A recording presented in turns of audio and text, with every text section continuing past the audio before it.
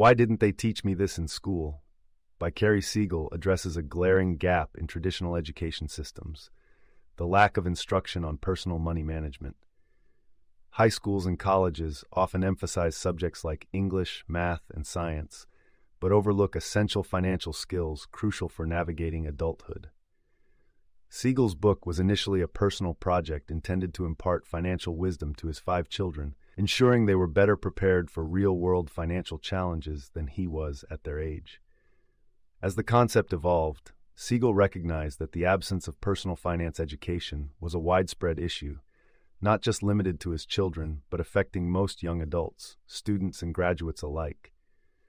Even MBA programs, which extensively cover complex financial topics, often miss the mark on practical, everyday money management skills that are vital for individual financial health and success.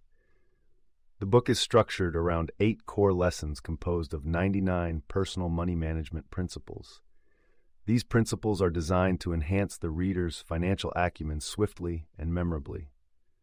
Unlike many traditional financial advice books, which tend to be dense and focused on numbers, Siegel's approach is refreshingly different. It prioritizes the qualitative aspects of money management over the quantitative making it accessible and engaging for readers who may find typical financial literature daunting. What sets Siegel's book apart is its focus on practical, real world advice rather than theoretical content. Drawing from his own financial experiences, Siegel offers principles that might appear unconventional at first glance. However, these unorthodox methods are intentionally crafted to be memorable and thought provoking encouraging readers to think critically about their financial decisions.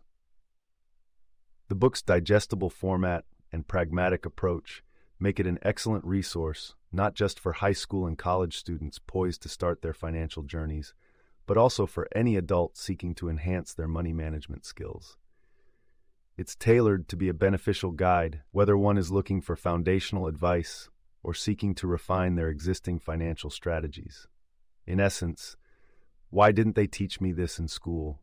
fills a critical educational gap, equipping readers with the tools they need to navigate financial responsibilities with confidence and foresight.